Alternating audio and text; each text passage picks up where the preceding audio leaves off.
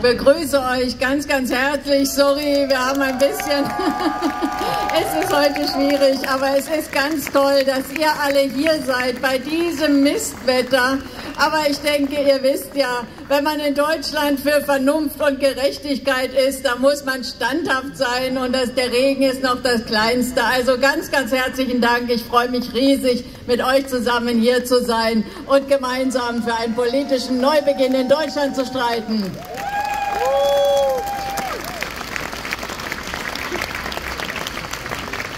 Ihr habt ja auch garantiert jetzt bei meinen Vorrednern schon ganz, ganz viele Argumente gehört, warum es so wichtig ist, am 9. Juni BSW zu wählen. Und zwar nicht nur, weil auch in Brüssel unbedingt der Wind anders wehen muss, sondern vor allem auch, weil hier im Land das ist doch ein Elend, wie diese Ampel regiert. Und ich finde, der 9. Juni, das sollte auch der Tag sein, an dem die Abwahl dieser unfähigen Regierung beginnt. Weil das haben wir doch nicht verdient, dass die alles zugrunde wirtschaften, wie sie das jetzt seit zwei Jahren machen. Das muss sich doch endlich ändern.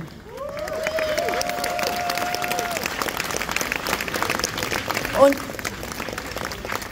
meine, wir erleben das ja täglich. Da erzählen Sie uns immer, na, es liegt doch gar nicht an Ihnen. Es liegt ja an der Weltlage. Die Welt ist so kompliziert geworden. Es gibt so viele Krisen. Und in China geht die Konjunktur runter. Und das sei ja doch der Hauptgrund, dass die Welt so schwierig ist, dass wir hier in Deutschland auch Krise haben. Nur ist es ja richtig, wir haben tatsächlich eine komplizierte Lage auf der Welt. Dazu sage ich auch gleich noch was. Aber bitteschön, andere Länder leben in der gleichen Welt. Und trotzdem wächst woanders die Wirtschaft, trotzdem wird woanders investiert, trotzdem ist woanders die Industrie nicht auf dem Absprung, trotzdem sind in anderen Ländern die Preissteigerungen nicht so extrem wie bei uns. Also es liegt offenbar nicht an der Welt, es liegt offenbar an den politischen Fehlentscheidungen hier bei uns in Berlin, weil wir sind das Schlusslicht inzwischen und das kann so nicht bleiben. Das sollte sich unbedingt verändern. Dafür stehen wir als BSW. Und gucken wir uns doch ganz konkret an die einzelnen Probleme. Ein ganz großes Problem ist doch, dass bei uns die Energie so teuer ist wie fast nirgends. Die Strompreise gehören zu den Spitzen in Europa. Die Spritpreise sind teurer als anderswo. Ja, woran liegt das denn? Unter anderem liegt es zum Beispiel daran, dass wir eine Regierung haben, die sich als Moralweltmeister dieser Erde aufspielt und die uns erklärt, dass es hochmoralisch ist, dass wir jetzt das böse russische Gas nicht mehr kaufen dürfen und dass es hochmoralisch ist, wenn Herr Habeck nach Katar fährt in die islamistische Diktatur und einen tiefen Bückling macht, weil das Gas dort, das ist offenbar sauberes Gas und moralisch edles Gas. Diese Doppelmoral und Heuchelei, die treibt doch hier die Preise hoch oder dass man russisches Öl nicht mehr in Russland kauft, sondern über einen riesen Umweg über Indien. Das ist doch einfach die Schizophrenie dieser Politik. Wir schaden uns, wir schaden nicht Putin mit dieser absurden Politik und deswegen muss sich das ändern. Wir müssen da kaufen, wo wir Rohstoffe günstig bekommen und nicht so einen Schwachsinn machen.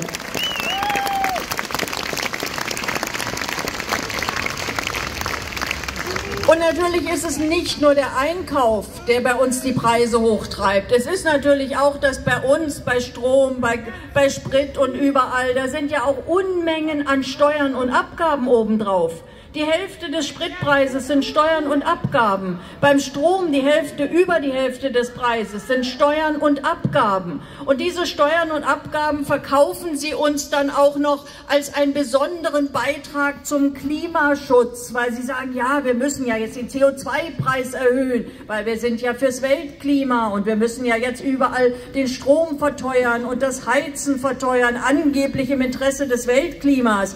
Ja, ich bin auch dafür, natürlich dass man das Weltklima schützt. Ich bin auch dafür, dass wir so produzieren, dass wir nicht unsere Umwelt zerstören, dass nicht unser Klima immer heißer wird. Aber bitteschön, durch eine durchdachte Politik muss man das machen und nicht durch einen Irrsinn, der dazu führt, dass wir ein relativ klimaverträgliches Pipeline-Gas durch amerikanisches Fracking-Gas ersetzen. Wo bleibt denn da der Klimaschutz? Das ist doch völlig absurd. Das ist doch, das ist doch völlig irre. Eben auch, da macht man den Leuten ein schlechtes Gewissen, wenn sie ihr Auto benutzen. Da verteuert man den Sprit durch diesen CO2-Preis und gleichzeitig sorgt der Staat oder macht der Staat nichts dafür, dass bei seiner eigenen Bahn irgendwie ein attraktives Angebot entsteht. Im Gegenteil, die Züge sind notorisch unpünktlich, die Kapazitäten werden abgebaut. Auch beim Gütertransport immer weniger steht zur Verfügung, also immer mehr LKWs auf der Straße und gleichzeitig zieht man den Leuten das Geld mit CO2-Preis aus der Tasche. Das ist doch ein Irrsinn. Das ist eine unehrliche Politik. Die Wahrheit ist doch, sie stopfen ihre Haushaltslöcher mit dem CO2-Preis. Für das Weltklima hat er überhaupt keinen positiven Effekt. Und das ist eben das, was die Menschen auch empört und was sie auch umtreibt dass sie einfach das Gefühl haben, da sind Politiker, die lügen ihnen ins Gesicht, wenn sie behaupten, das sei also alles fürs Klima so wichtig und das sei alles so sinnvoll. Und Herr Habeck hat es ja vor kurzem sogar offen gesagt. Er hat jetzt in einem Video, in einem sogenannten Bürgerdialog, hat er gesagt, na ja, also mit dem Heizungsgesetz, da haben sich ja alle aufgeregt. Das war ein Test und da ist es halt nicht so gut angekommen, also machen wir mal wieder den Test zurück und sind ein Stück zurückgegangen. Was ist denn das für eine Politik? Wir sind doch nicht, wir haben doch nicht eine Regierung gewählt, damit sie die Menschen testet. Wir haben eine Regierung gewählt, damit sie die Probleme löst und für die Menschen das Leben verbessert. Und das erwarte ich auch, dass eine Regierung das tut und nicht diese Arroganz, die sich auch in dieser Aussage widerspiegelt. Und natürlich eine Regierung, die Probleme lösen will. Ich, klar kann keine Regierung sofort alle Probleme lösen. Also das wäre ja auch absurd, wenn man das verspricht. Aber das fängt zum Beispiel schon mal damit an, das Lösen der Probleme, dass man die Probleme kennt, dass man sie zur Kenntnis nimmt.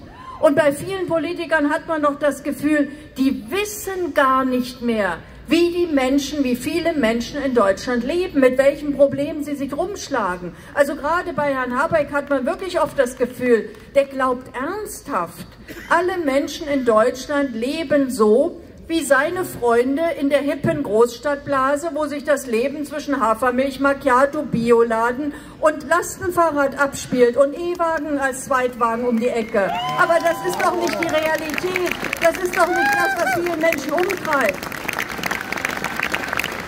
Und ich meine, ich habe überhaupt nichts gegen Bioladen. Ich finde, jeder, der sich das leisten kann, sollte da einkaufen, weil es einfach auch gesünder ist.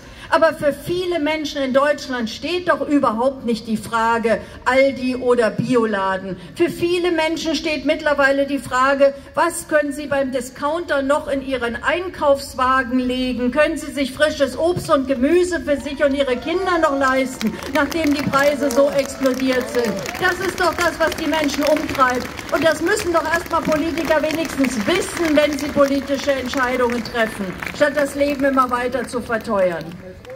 Und apropos Abgehobenheit und Probleme nicht kennen. Wir hatten ja alle, vielleicht haben Sie es verfolgt, Frau Ricarda Lang war ja vor einiger Zeit eben in einer Talkshow und wurde gefragt, was äh, ist Ihrer Meinung nach die Durchschnittsrente in Deutschland?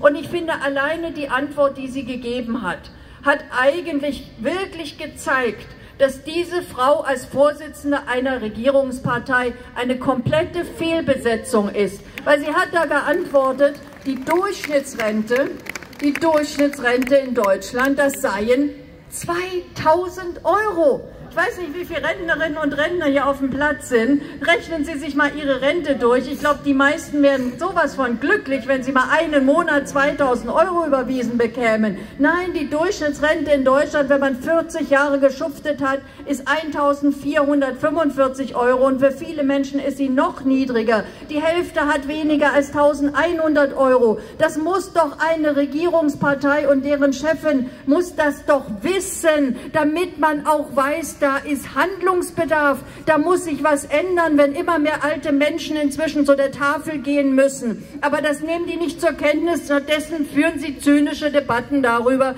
dass die Renten in Deutschland angeblich noch zu hoch sind und dass man die unbedingt weiter kürzen muss, weil das können wir uns ja gar nicht leisten, diese vielen, vielen hohen Renten. Das ist so eine Respektlosigkeit gegenüber den Menschen, die da jahrelang geschuftet haben. Ich finde alleine schon haben die alle eine riesen Ohrfeige bei der Europawahl und natürlich auch bei der nächsten Bundestagswahl verdient.